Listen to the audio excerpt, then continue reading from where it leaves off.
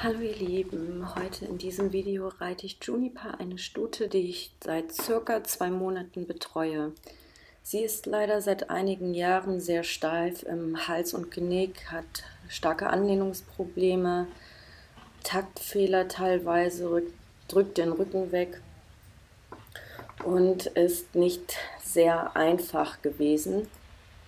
Ich habe dann zusammen mit meiner Trainerin und auch vor allem dank ihr versucht mit Juniper sehr viel an Durchlässigkeit zu arbeiten, an korrekten Takt. Und wir haben das Ganze ganz geduldig, Schritt für Schritt gemacht und ihr immer ganz viele Pausen gegönnt. Und hier sieht man auf jeden Fall einen deutlichen Fortschritt, der vor ein paar Monaten fast nicht denkbar gewesen ist. Sie ist auf jeden Fall immer vor der Senkrechten gelaufen und hat sich auch sehr stark gegen die Hilfen gewehrt. Dabei muss ich sagen, sie hat einen passenden Sattel, das wird ständig kontrolliert. Sie ist ständig ähm, beim Zahnarzt, beim Tierarzt, bei der Osteopathin, bekommt Massagen, Physiotherapie. Also das hat alles gepasst.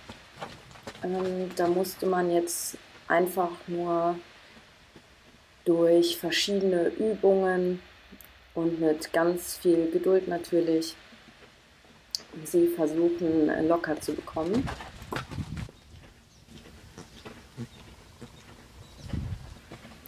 Das ist natürlich noch weit entfernt von perfekt, aber mit viel Arbeit werden wir das Ganze schon verbessern.